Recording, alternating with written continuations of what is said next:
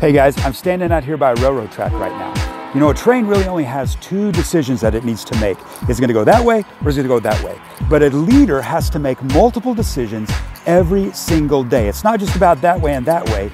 There are a thousand decisions that have to be made. Sometimes the right decision is made, sometimes the wrong decision is made. And that's the trouble with leadership. Am I making a right decision or am I making a wrong decision?